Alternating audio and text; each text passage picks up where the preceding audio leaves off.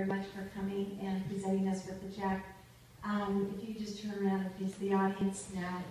Um, I, I need to say the Novato Gymnastic Boosters, we would not be where we are today if it wasn't for them.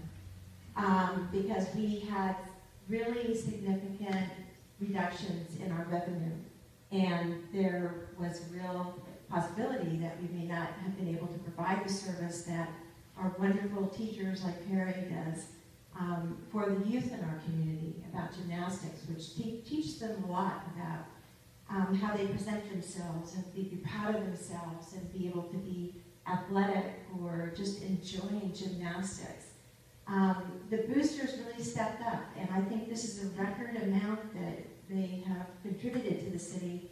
Thirty-one thousand dollars is an awful lot of money. And I know that they've of raffles, a lot of spaghetti feeds and things of that nature with all